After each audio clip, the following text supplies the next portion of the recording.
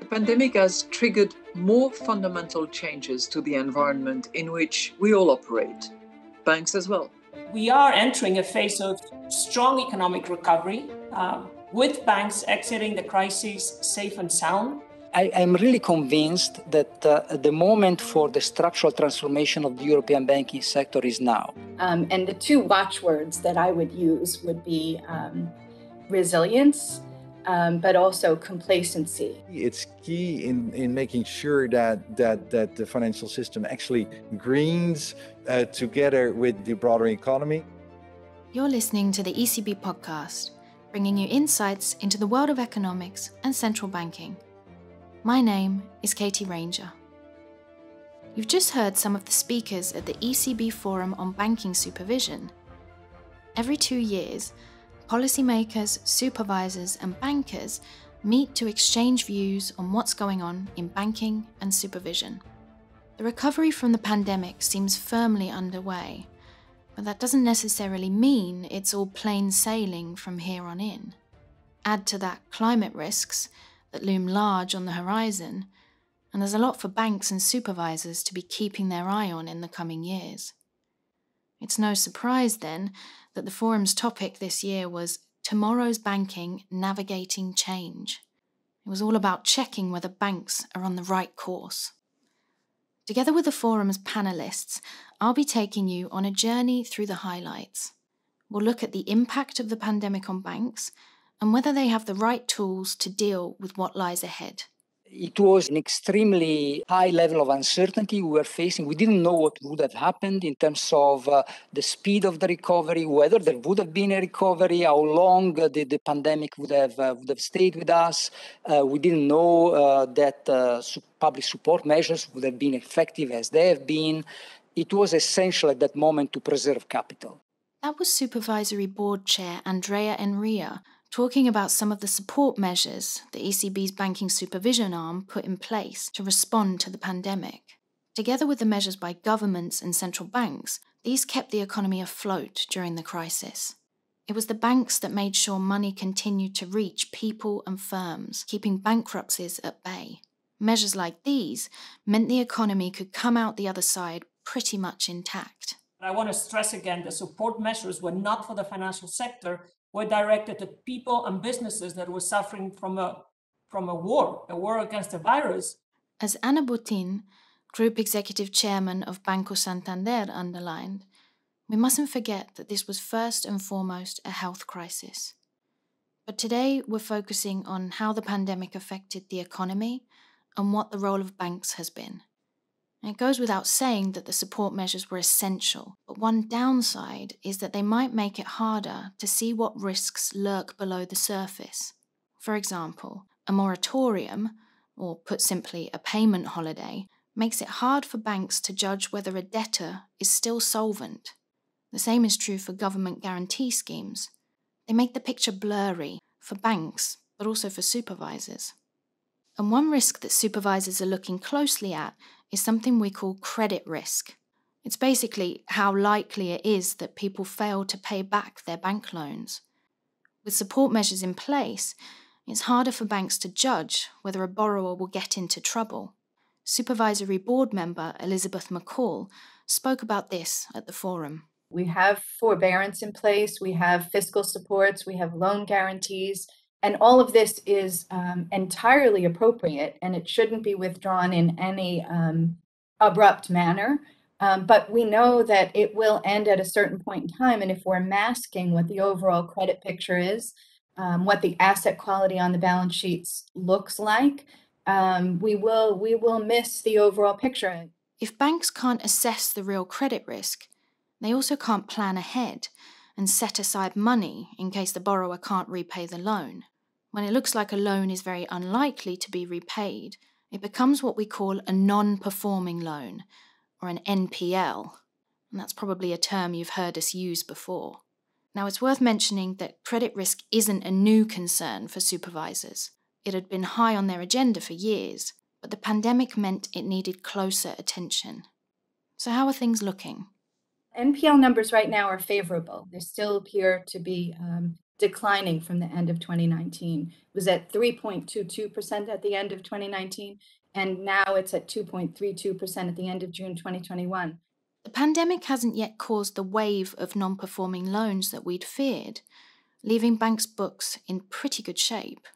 But not all firms will survive the crisis, and not everybody will be able to repay their loans.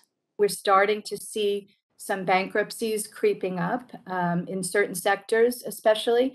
And uh, the expectation is that as the supports are removed, you're going to see increasing uh, bankruptcies and this type of thing. So, um, you know, the, this picture, this story is not ended. Now, to minimize an increase in non performing loans, we as supervisors have repeatedly stressed that even in hard times, banks should only lend to customers who are able to pay back.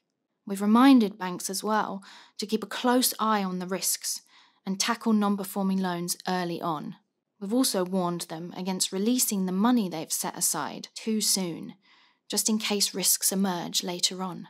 Banks need to be safe and strong to support the recovery. It's all about making sure they don't let their guard down too soon. There's good news here, uh, quite a bit of good news. Um, we've got a, a stability, we've got growth, we've got lending continuing. We have some protection that we see of households and businesses. But I, I want to really make sure that we don't succumb to any complacency as we take stock going into the end of the year. We really need to encourage institutions to have their houses in order to make sure they understand the credit picture. Now, if the pandemic wasn't enough of a challenge for banks, well, for all of us actually, another risk looming big on the horizon is the climate crisis maybe to just remind everyone who is looking of the urgency to start with. One and a half degrees means 70% more of the floods and the fires and the droughts that we're seeing today. Two degrees means 200 to 300% more of the floods, the fires, and the droughts we see today. Today, we are not on a one and a half degree path. We are not on a two degree path. We are on a 2.7 degree path. Clear words there on just how serious the situation is from our Supervisory Board Vice Chair, Frank Elderson. Let's briefly unpack why the climate crisis is relevant for banks. There are two types of risk linked to climate change physical and transition. Banks are affected by both. A physical risk could emerge from a bank lending to farmers affected by droughts. Making loans to a car manufacturer entails a transition risk in the sense that this car maker will be forced to eventually make greener models. And this will force them as well to restructure their business quite substantially. And that's a good example of transition risk. But there's another element to it. Banks are going to play a huge role in our transition to a greener economy. In Europe, banks still provide most of the funding to firms, meaning they'll need to provide a lot of the money for that green changeover. So, to make sure that they can do that, they need to take climate change seriously, as our supervisory board member, Kerstin af Jochnick, told me before the forum.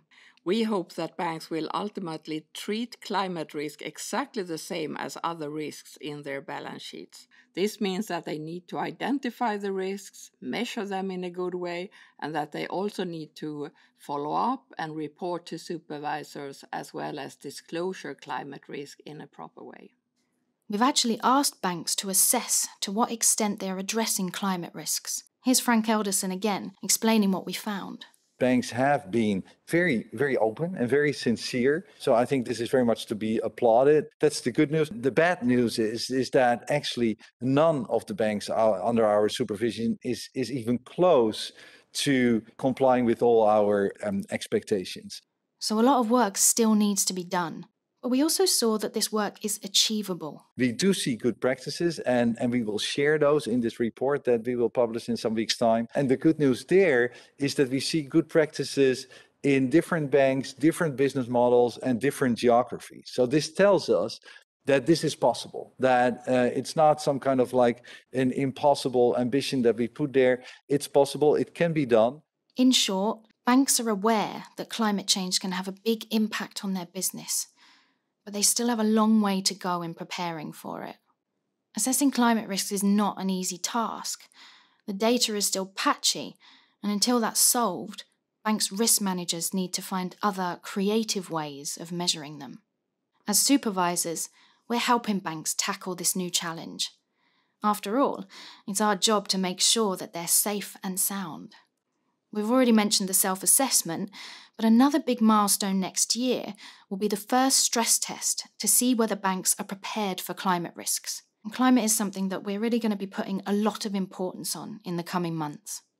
Looking ahead, there's no denying the challenge the climate crisis presents for banks. But there is progress, and we as supervisors will make sure that banks keep travelling in the right direction.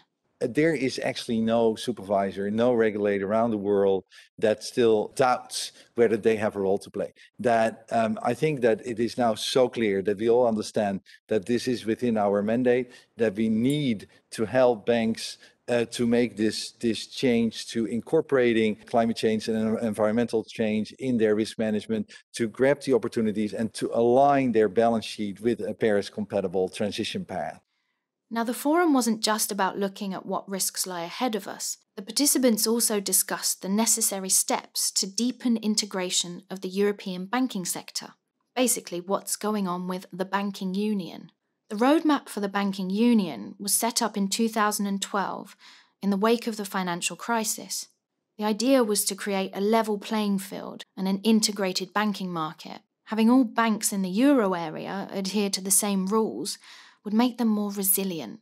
That's overseen by our banking supervision arm. We have come a long way on the banking union. The roadmap the European Commission presented almost 10 years ago envisaged three pillars a single banking supervisor, a single banking resolution, and the common European deposit insurance scheme.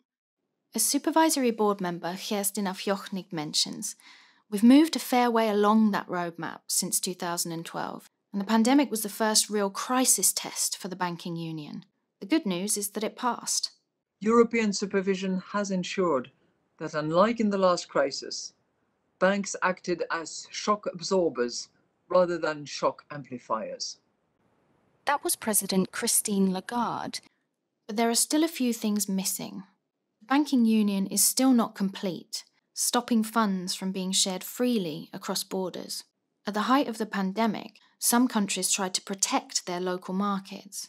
This meant that banks were kept from transferring money to other banks in their group elsewhere in Europe, even though they could afford it. The shock has also affected countries unevenly, which might lead to lots of different approaches to tackling it.